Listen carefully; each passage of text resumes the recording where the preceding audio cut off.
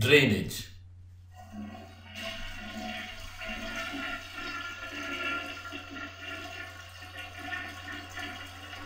All right, now that I removed my excess water, we can discuss drainage.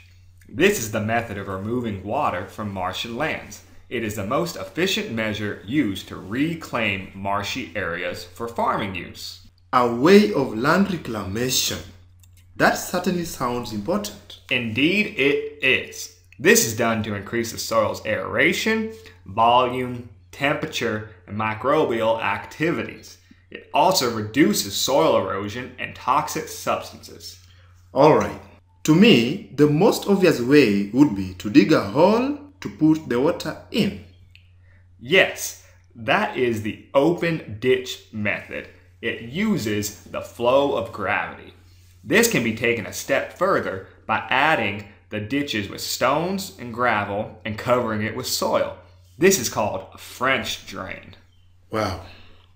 Let's assume it is the future and I'm on my farm with unlimited capital. What methods do I have? Always thinking ahead. Wonderful. You could lay underground pipes to seep the water out and have it flow in the waterways. The faster and more expensive way would be to set up pumps. Are there any other methods?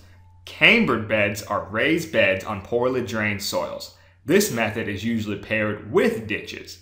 Finally, you could plant trees around the area. The trees will drink the water. Uh huh. And this could be used if you wanted to have an agroforestry type of farm.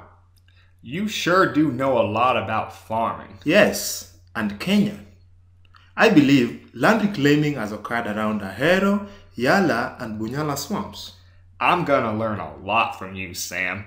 Thanks for saving me this morning in Lake Victoria and for all your information about Kenya.